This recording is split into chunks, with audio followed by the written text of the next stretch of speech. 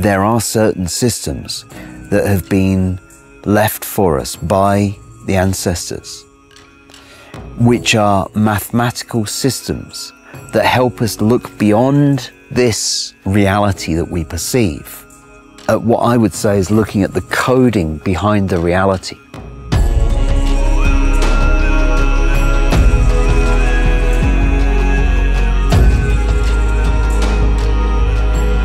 Society has programmed us in one way or another. But at some point, there comes a break. That break of who am I anyway?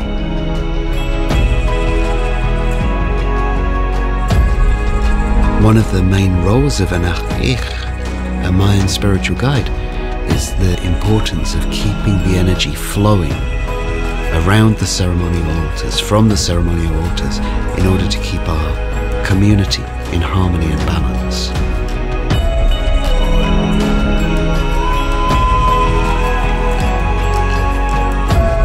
And when we reroute like that, when we reconnect like that,